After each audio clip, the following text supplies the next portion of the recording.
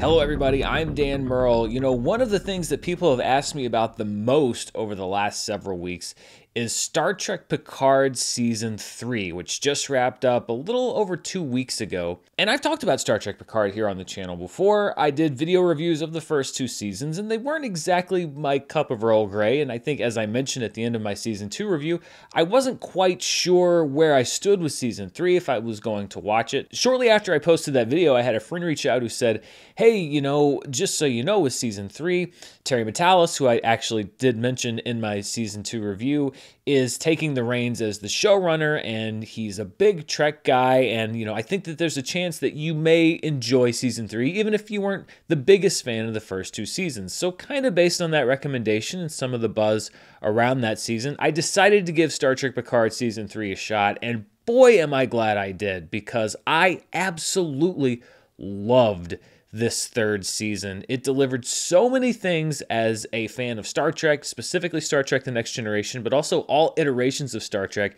There were things in this season that I never thought that I would see. Closure uh, with plot points, closure emotionally. We are about to do a deep dive with Terry Matalas, the showrunner on Star Trek Picard Season 3. And as the title states, this is a spoiler chat. We are going to go deep, very deep strangely nerdy Star Trek deep into some of the major plot points and storylines of Star Trek Picard season 3. So if you haven't seen that season yet, first of all, if you're a Star Trek fan, do yourself a favor and go watch it. It is really really special. It's something that I enjoyed a lot and we're going to get into a lot of the reasons why I really loved it. If you have seen Star Trek Picard season 3, then get ready for some great info. We had a really, really fun chat. And don't worry, I will also be doing a video review for Star Trek Picard season 3 here on the channel. But as you know, I work on those things very, very slowly, and I have a lot to break down in a good way with this third season. So stay tuned in the future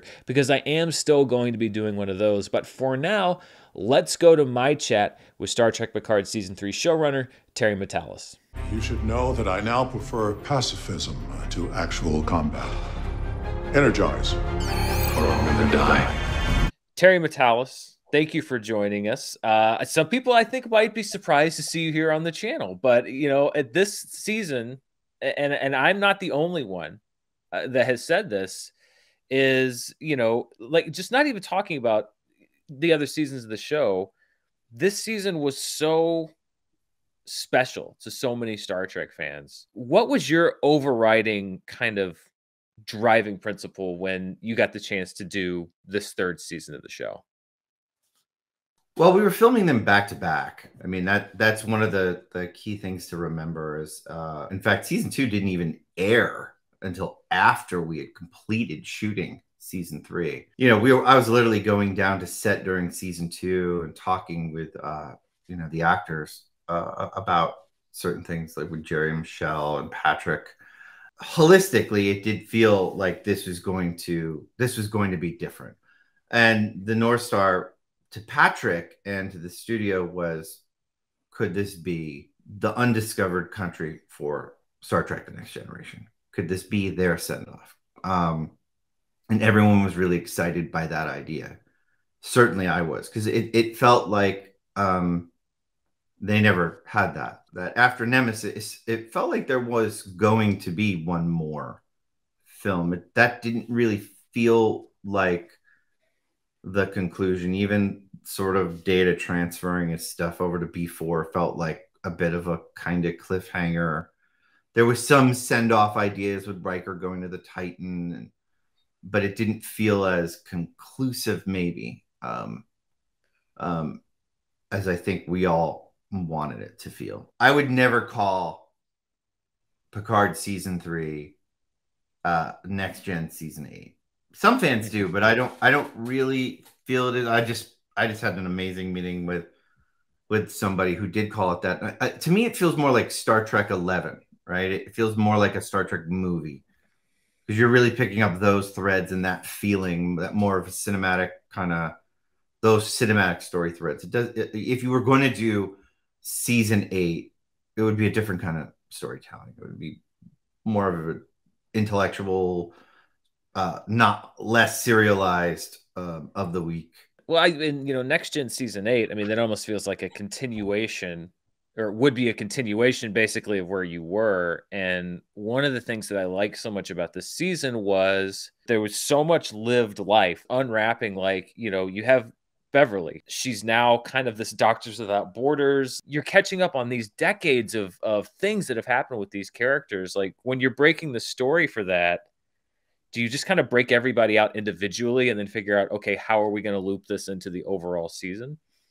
No, a lot of that starts to come organically as part of the big picture. So when um, so in that case, we started with when I sat down with Patrick, I, I said it, it felt like for the final story, we wanted to tell the story of a father and a son. We kind of he had already done a father and a daughter, kind of with Soji in season one. If we were going to do a son, where would that come from? Mirror universe, Bash, all those ideas and we started to go through it and he was dismissing a bunch. We certainly had this back pocket idea about beverly crusher but we weren't going to pitch it to patrick because we never thought patrick would go for it.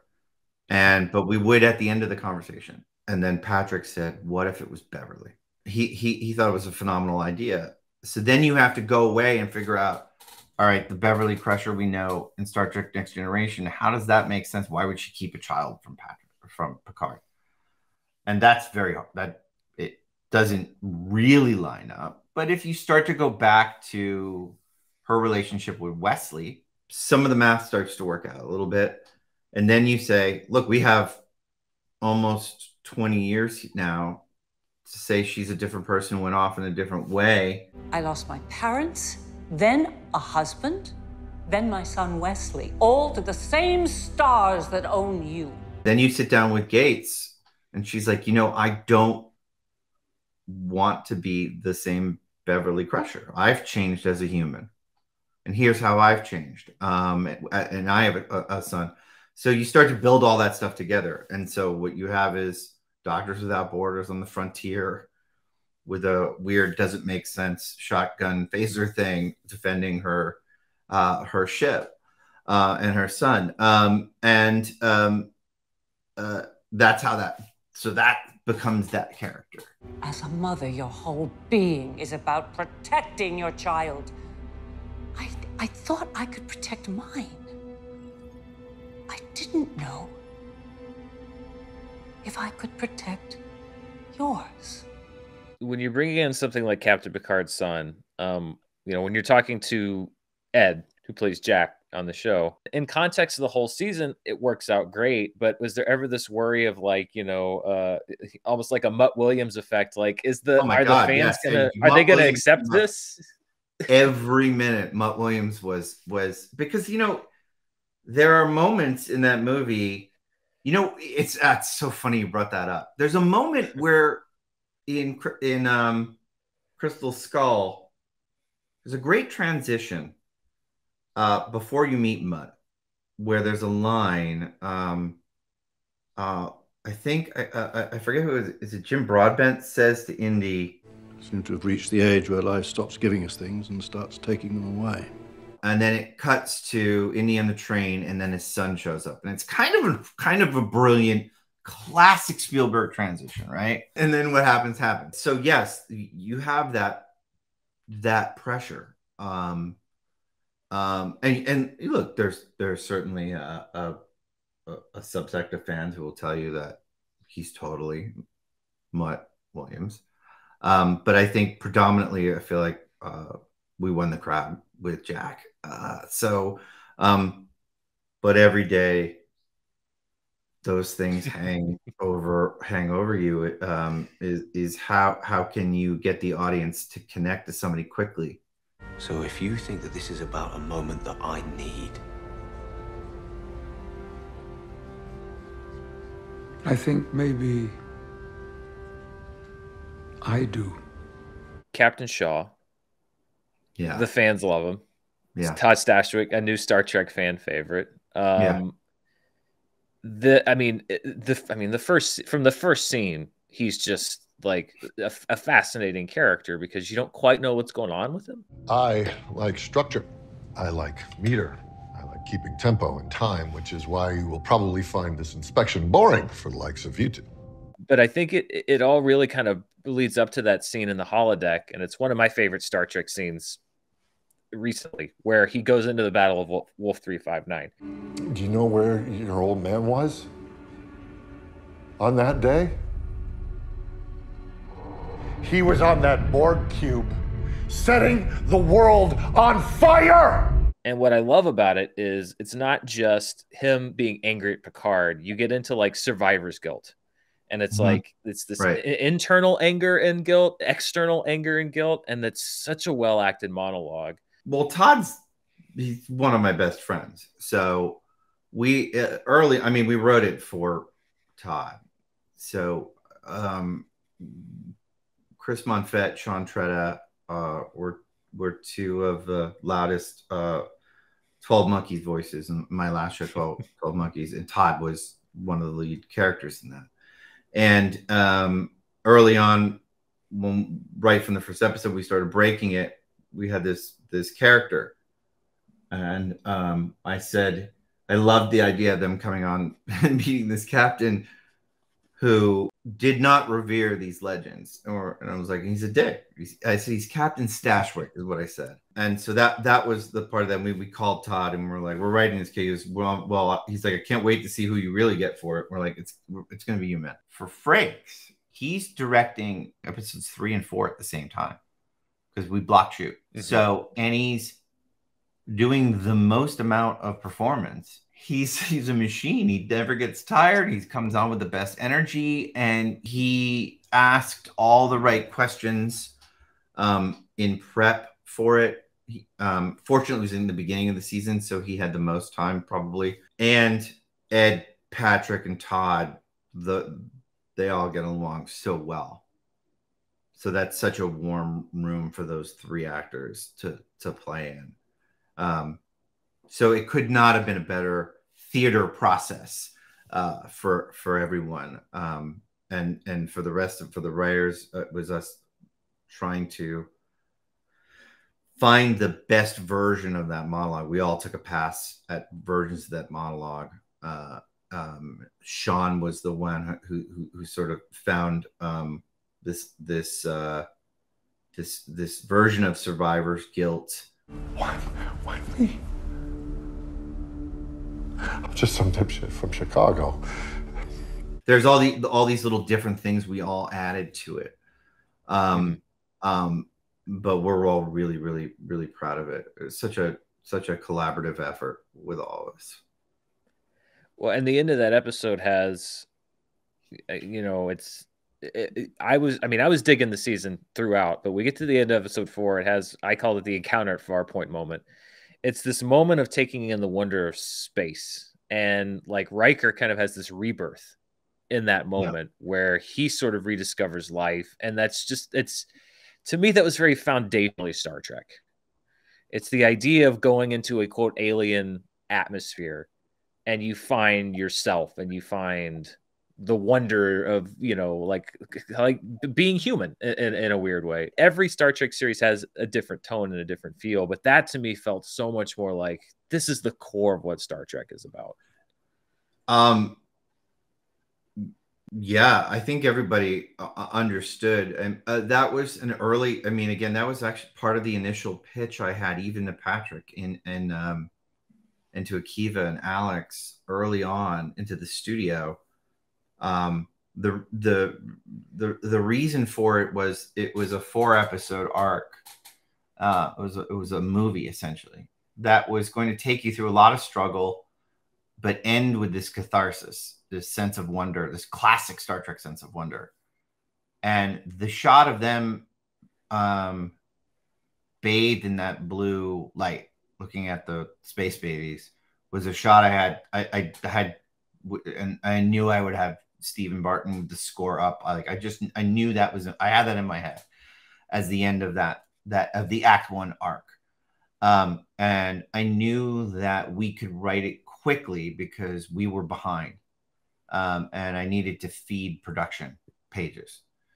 Hmm. um, so it was a very easy pitch because you were taking discovery of uh, it was a story about a new family too uh, I mean, that's a new family being born, and the discovery of Picard coming to accept that he did have a son, It's, it was also uh, the son coming to accept he had a father, and Riker, who had been running away from this darkness of losing his son, experiencing all of it, witnessing this reunion, um, and then seeing this, and then feeling that catharsis and then reaching back out to Deanna. It, it all felt like a perfect little Star Trek movie um, as a perfect act one.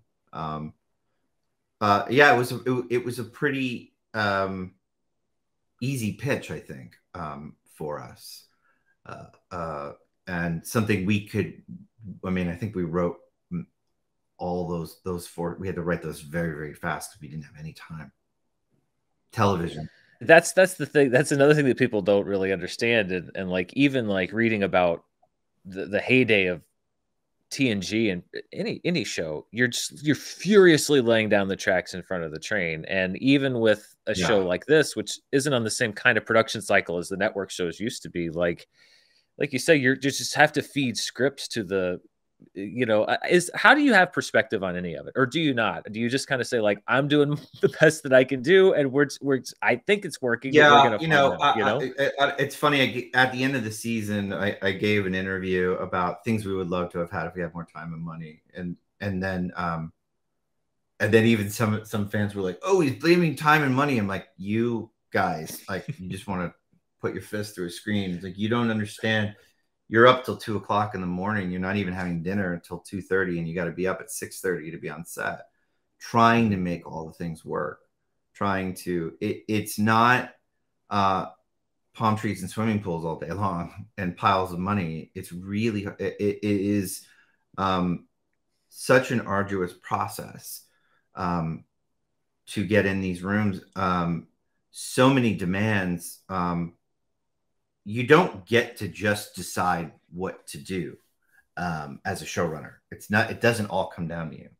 You you have a studio, a network, host of producers, a franchise department, and then twelve actors, and then uh, a writing staff, all of which have very important opinions in many different demographics that, to listen to. And then you write it, and then everyone with with the paycheck says you cannot do that. So here's what here is the menu of what you can do. You're so you're going to rewrite this in 12 hours so that we can shoot it.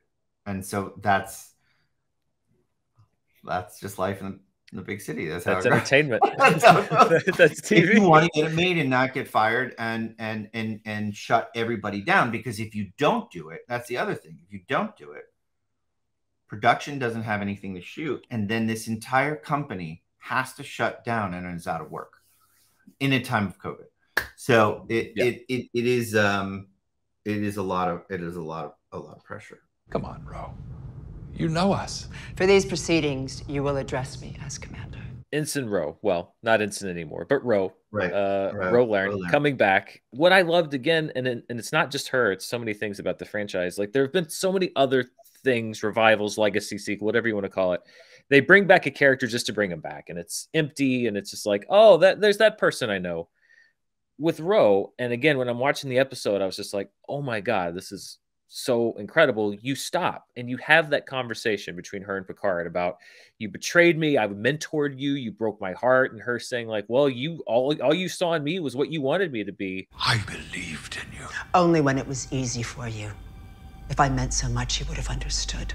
As a TNG fan, I was sitting there eating it up with just, you know, like this is incredible. Like this is the conversation I never thought I would see.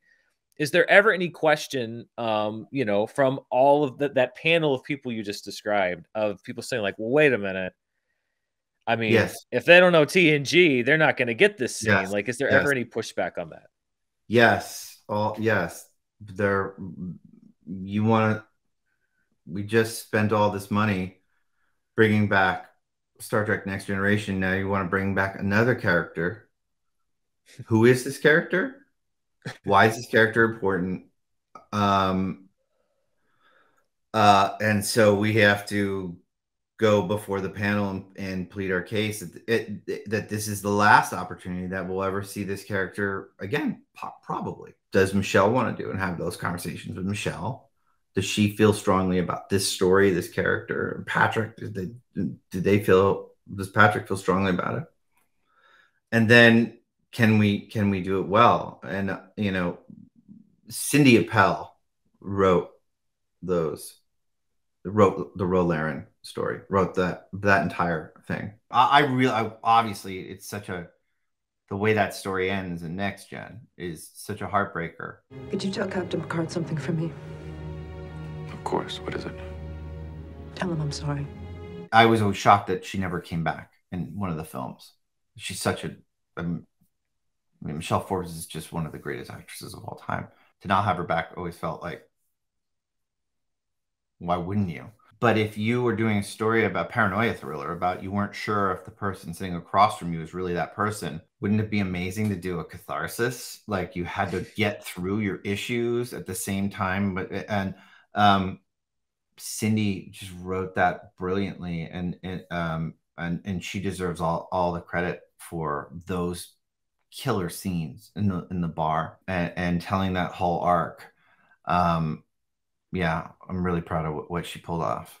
You have a running joke throughout the season that nobody really seems to enjoy Chateau Picard. Chateau Picard? That is that is terrific. I'm much more of a Malbec man myself.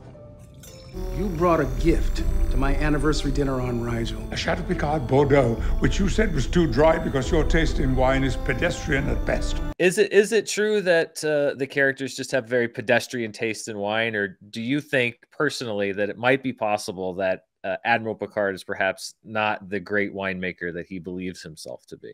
I will I will leave that up to the audience to decide. uh, if you know there I, have seen theories online that maybe uh it it proves that it's not his first best destiny. Um or um you know maybe they're not they they don't have the best taste in wine. So but we that's fun. I love that that gag played we, we were wondering if people were going to pick up on it but we're i'm glad they did that's for sure sour mead Chateau Picard. It is quite tart, sir. The movies, uh, you have when you take an ensemble TV cast, you put them in a movie. It's just how it happens. You have 100 minutes, maybe 120.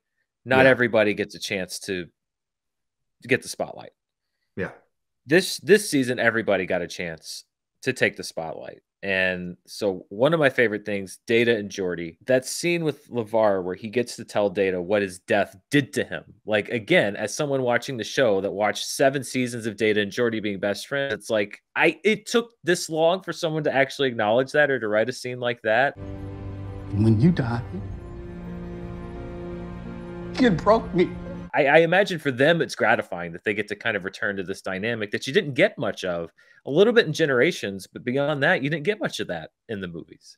No i'm absolutely.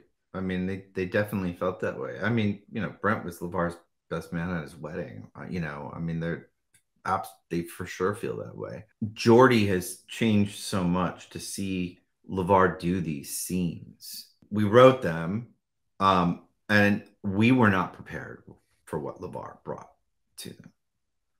And we're watching them on set going, we don't think the fans are going to be ready for these scenes. There's, there's, he's so good. Um, uh, yeah, we were, I mean, boy, talk about blessed. I mean, that was that, that, and they each actor brought all the right ideas to those scripts, all the right, um, performances and, and everything. And um yeah uh, being there in those moments watching that on the monitor we knew we had something special. I hope that you can sense as fully as any human has ever felt anything how happy i am to have my friend back. Another thing that i feel like because it's sort of like the leonard nimoy thing with spock. Because brent spiner played a character who didn't have emotion i think people underrated his acting ability. Right. And that's actually a very difficult character to play. Here in this season, I mean, you got one episode where he's playing Data, Lore, oh, B4. this new version of Data, also Altan. So I mean, he's playing all these different characters, but that sh- that final showdown again to take time to to close this loop. That final showdown between Data and Lore, one of my favorite things that you did this season. He was showered with all the love and friendship the galaxy could offer. What a waste. When you're looking at these things from the series that you're revisiting, Ro, Data, and Lore was there a did you have a personal list of your like i want to tie these things up? Or was it you're when you're breaking the story in the room you're like you see an opportunity to do these things that are so gratifying for people? Uh no we didn't have a list. Um again that was coming to it or organically um that I, I sat with brent and said we have data has to play a part in this. He died twice. How are we getting to the data we were promised?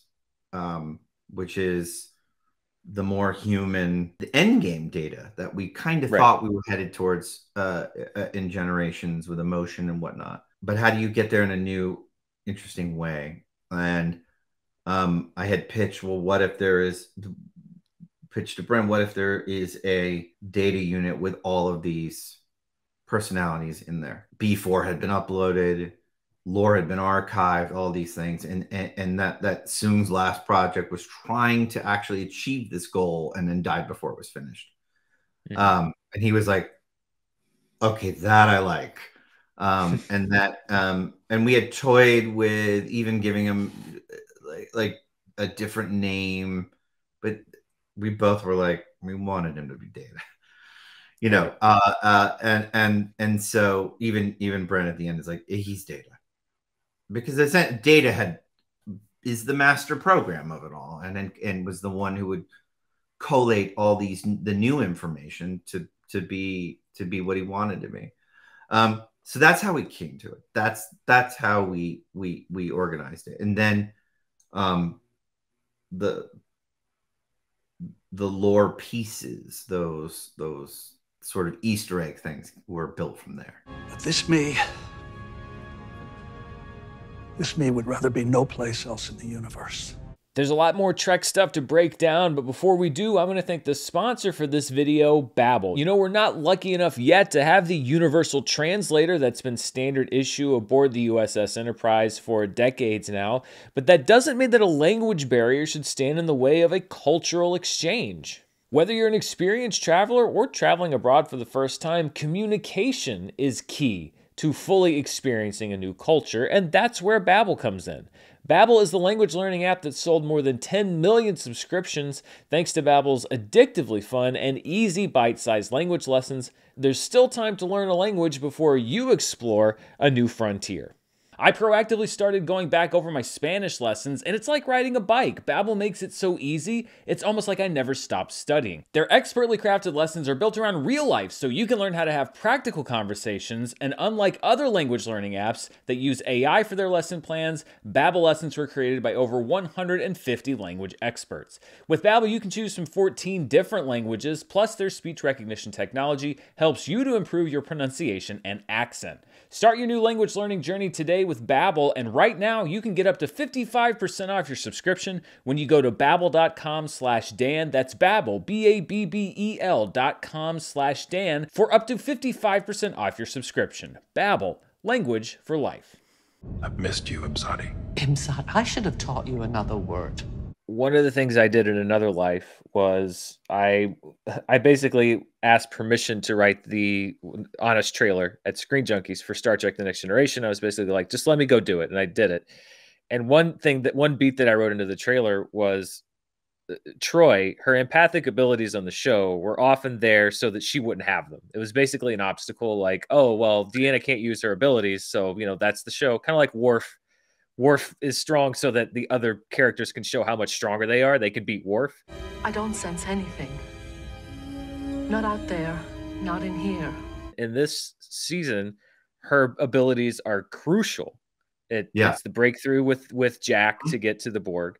It's how she finds the crew on the cube, and also uh, correcting a little bit of this. Uh, I think unfair thing that she crashes the ship every time you know that yeah. she you know she, she's but she's she's at the helm she's helping to get every everybody there yeah. um Was there a little redemption for Troi that you were kind of aiming for with the season? I, I think so. Um, it kind of worked out perfectly. So, um, when we made the deals, one of the things they said is like you can't have Marina until the end because of her schedule in London. And at first I was like, damn. And then I was like, oh, well, you know what we can do is we can see her early on. We can we can see her on view screens and things, keep her alive. But it's actually good for the story because she would be able to get into Jack's head and figure out the puzzle right away. So why don't we make her the one who is able to get in there and sort it out? So we'll be building to that moment. And then once we get to the big next gen movie in 9 and 10, we had all sorts of things for her to do. And then that yeah. last moment is the is she saves the day with she's able to find them with the Imzadi moment with um you know and that's that's my favorite moment in the in the finale. The finale obviously we have the Borg. I mean this again we've been building up from from TNG to first contact. It's this it's this escalation of this conflict there. I was listening to an interview with James Cameron where he was talking about how he writes, and he was talking about the Terminator, and he's like, "Well, he wrote the Terminator because I had this image of a fiery skeleton, and it's like, but I couldn't shoot it in the present or in the future because I didn't have enough money. So okay, so it's in the present. So he basically reverse engineered, and he's like, that that's what I do. I figure out where I want to go, and I write backwards from there. Was the Borg and this final confrontation sort of a writing backwards moment when you're sort of mapping out the season, or did it evolve from natural progressions of these characters you know when you're trying to figure out where it's all going to go. It was organic in the way of once it was about a son then the next question is all right what what how do we put it that relationship through the ringer? Right? Then it becomes well what do we pass on? What's the story of legacy? And then it became what's the very worst thing jean-luc picard would ever want to watch his son go through? Locutus became the answer I asked myself, I'm like, well, what if he had inadvertently passed on Locutus to his son in some way, and his son was being hunted? Something I passed on to you, one that took a generation to grow. Actually, one of the first people I pitched it to was Jonathan Frakes. I went down to his office. I was like, "Can I just spin something at you?" and he he gasped. He goes, "That's so cool." He's like he's like so he's like he's essentially the MacGuffin of the season. I go, yes, he's the but also the emotional core of it is is this mystery, and the rest fell into place from there. You know, some um, some fans would would have preferred the that it would be you know the founders and the changelings had just stayed through all the way through, but it also felt like you want to end with your top rival, right? I mean, Batman's right. got to face the Joker, Kirk's got to face the Klingons, Sherlock Holmes has got to face Moriarty like he ha- he has to face off against this thing in a new way. You got to face the beginning in some way. Although I I do want to give full credit to Amanda Plummer, who I thought was absolutely so yes. good. He's to play understanding to your crew. I'm bored already. We knew we wanted a larger than life Star Trek villain role, and that like Stashwick we're like, who could that be? Uh, and Amanda Plummer was was if the first name I think I, I, I spit out and called casting. I was like, would she even be interested? And they're like, she totally would be interested. I love that she's the I think the only character consistently who pronounces Picard. Picard's name French, yeah. which I think was yeah. just such a great little thing, kind of a mocking thing, but also sort of like, well, and she she's correct. It. Yeah, yeah. The next ill-defined, unshapen one of you that tells me they've yet to locate Picard. Mm-mm-mm. Red Letter Media is another person that's made uh, uh, videos, and they made a video about this season. They loved it. I mean, the the turnaround on the show from them, I never thought. I, I mean, it's just like a big sloppy wet French kiss. Um, but I don't know if, if you've seen this, but they had a theory. I saw the plate. I saw the plate. The plate. It's hilarious. I, I did see that. Which one? The oh the well, plate thing. Well, the, plate, the yeah, thing that cracked plate. me up was their theory that this was uh, Riker fan fiction. You know what happened?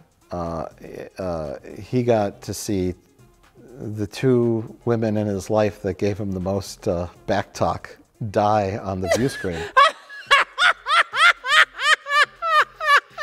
Ro and Shelby. It's funny. I I don't. Uh, I never got the sense that Shelby is dead. Like she like I, I I don't know that those are set necessarily to kill. She's got a couple of burns in her, but but uh but yeah, I saw a lot of that. They fridged Shelby. I was like, well, I guess it's supposed to be jarring, but you but yeah, I I understand I understand the the, the criticism. Um, I I feel like Shelby's probably okay. Um, if you were ever to come back, probably Shelby's more than fine. But um, uh, no, it's not. It's not Riker fan fiction. But that's that's hilarious. I actually was reading it's the previous interviews you did that you kind of tried to keep a back door open for Ro. And it's just as you said, there's Yeah, only so much time that you got. You know, you can only have so much time. Well, I mean, if you look at it, um, the comm chirps off a good like six seconds um, before um, the ship blows up, and the idea is that the um, it was more about framing them for the death, uh, and that they would. There was a scene in which um, Picard and Seven uh, found Tuvok and her in um, on the Intrepid with Mhm. some other with all the other um, uh, Starfleet officers that were dopped, doppelgangered, if you will, and um, and there was this nice reunion. In fact, I found I found the script pages for it. There was even there was even a pass of the scene where Ro was part of the um, promotion to Seven of Nine and was in that scene as well. We actually had a whole opening sequence of um, Seven and Rafi in the finale gathering all those people um, to retake the bridge. All like the cook, the the such and such, the plan. Um, there was a whole different opening um, that we had that also had to go through production. one thing that luckily did make the cut uh, and was huge was the Enterprise D. Um, Yes. you know, Yeah, I- we I, uh, would. we held on to that with my dying hands. Okay, first of all, I was going to ask you this next, but first of all, any other show that would have been in the first trailer, in the second trailer, on the poster, in every single advertisement, because obviously, from a marketing gimmick, if you're trying to get people to watch, the easiest way to get people excited about the show is to be like, we're bringing back the Enterprise D. Yeah. But I think dramatically, it's so much more impactful to get to the end of episode nine, not knowing quite where they're going to go, and then you make that big reveal. How? How? How did you? Who? Who did? How did you convince? Because I'm sure every marketing person at it, that's on the pay, payroll at Paramount was like, "Well, I'm telling you how we're selling the show. We're we're doing the Enterprise D. It's on the poster." Like, how did? How did? I don't. I don't understand how it works in today's I, world. I will neither confirm nor deny that those conversations happened often in the beginning as well. But they were very collaborative and more obviously, clearly, because it didn't happen. Um, but um, but yeah, I mean, look, I mean, that was um, and I actually have to say, uh, Paramount Marketing was probably the most collaborative I have ever seen a studio and marketing department ever be. Um, they were let me be a part of the key art in really wonderful ways. Um, they let us cut the trailers, be part of cutting the trailers. My our editors do it. Um, that's rare, very rare. So I'm actually forever in their debt for for for letting the showrunner be be be such a part of it. Um, but it was a hell of a secret to to keep. I was so grateful when that was out. I was just like, oh, just let it go. We had so many leaks. LeVar had brought it up accidentally at a convention. Um, uh, Patrick had talked about it once. Uh, we just were just running around covering it up like crazy. I was trying to figure out because I got very emotional when I saw that. Very emotional. And I was trying to even figure out it's like data. I was like analyzing my own emotions. I'm like, why am I why do I feel this way? And it for It's me, shameless like nostalgia bait. That's all. It's just it's empty. But it's not. It's not. I'm let you off the hook bait. It's not nostalgia bait. It's because A, it's it is set up when you go back and watch, it is set up from the from the first time we visit with Geordi. What about Hangar Bay 12? Chandra, please. Geordi. First of all, there's a practical explanation for how it happened. There's a practical need for it to happen. Are you certain she's not connected to the Starfleet mainframe? I'm positive. You're looking at the last functional ship in the fleet not tied to the system. And I and I think the thing that got me so emotional was it's something that when I when I said it to myself, I never thought I could see that again. I did not think it was practically possible unless you unless they fly the Titan backwards around the sun and you emerge back in Right. season seven, like it's like that can never happen. It's gone. And yet Right. I, that's I have to give you guys kudos because you figured out a way to do it where it, it didn't come off as cheap nostalgia bait. Because it, it easily could have, and, and it right. didn't. At I, least am with no. I'm just being. I'm just being. Um, for my, you know, some of the most cynical detractors of the show will call it that. I mean, have called Sure. it that and like, "Nah, nah, nah." and I think that's a. It it is a unromantic way of looking at it in in every way. Um, and here's why: the Enterprise is a character in the show. It is. If you're doing, if you're reuniting these characters, the Enterprise is a character. Which Enterprise is the question? We could have done the E. We could have done the F, which would have been meaningful to to some game players, but certainly not to this cast. But what had been meaningful to this cast was that ship, right?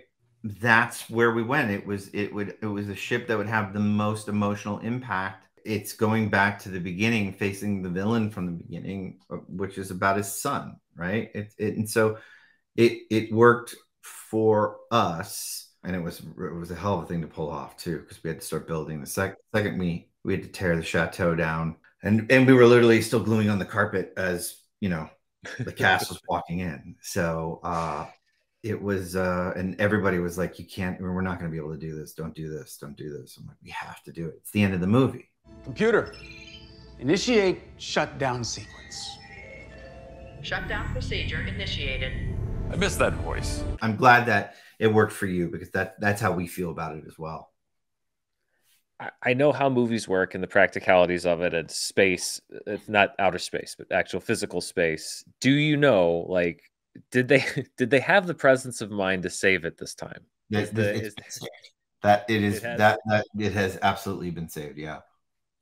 That's good because you know most people I think think that you know if they go to Warner Brothers, like every set from every movie is still there. Like, oh yeah, let's go walk over into this. Is like, no, sadly, most of the movie locations that you know and love are destroyed within Yeah. days of finishing the shooting. But No, uh, no, that's nice we- to know we- it's been preserved.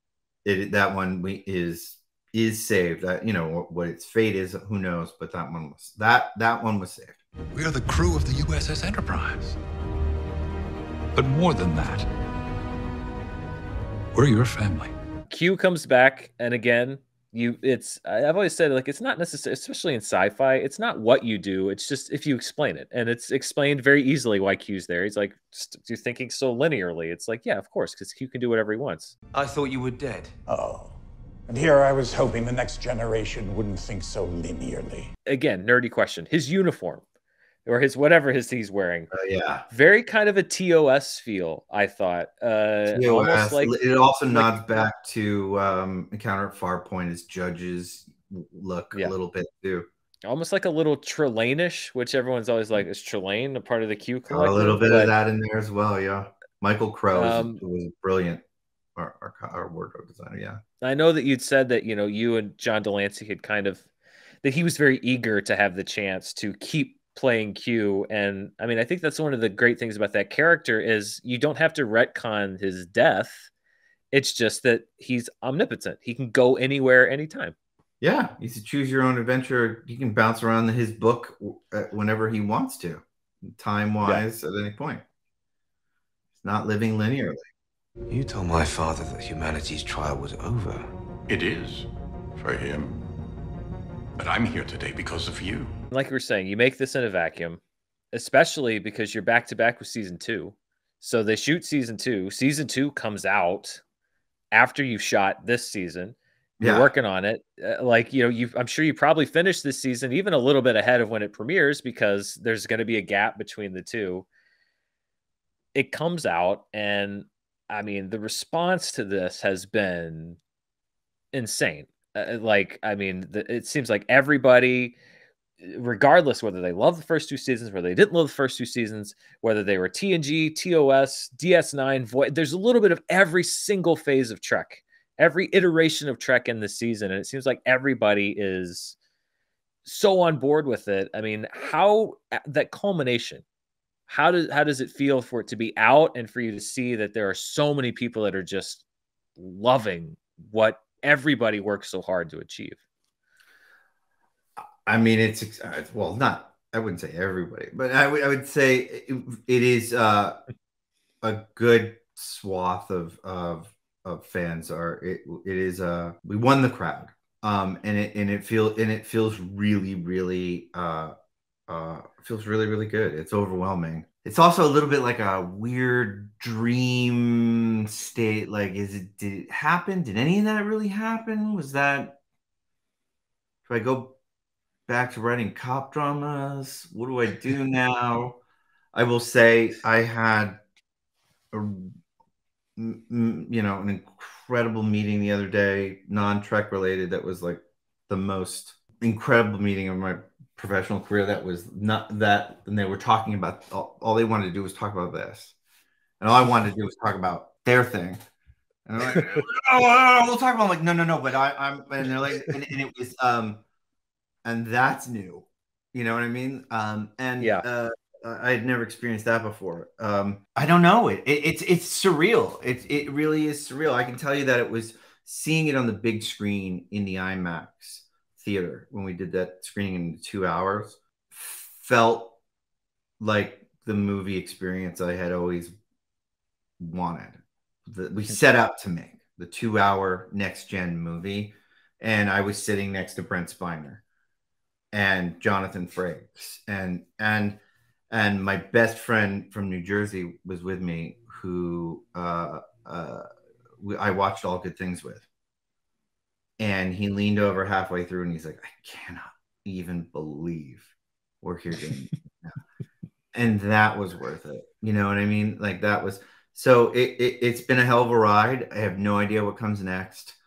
Um, but uh, and again, I'm I'm here because you know Alex and Akiva and Paramount gave me this crazy opportunity, and Patrick allowed us to do all these things, and I had an incredible writing staff and team, and Dave Blass and these composers and post and visual effects. Like the, it was an it was a huge, huge ensemble of people who were able to put this together. So um, I'm grateful for all of them.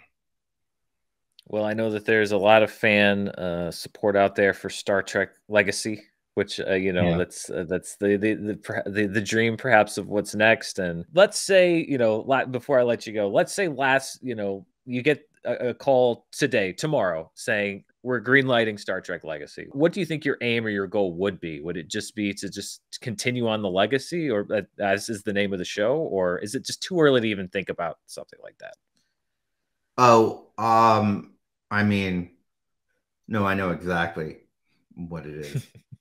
um, I, I mean, it, it, it's it's it's too dreamy to talk about. I mean, it's it's Star Trek: The Next Generation is is what it is. It's, it, the torch has been passed, but um, but how great is it to also incorporate the previous generation, you know, and mm-hmm. and, and keep those characters a part of it as well.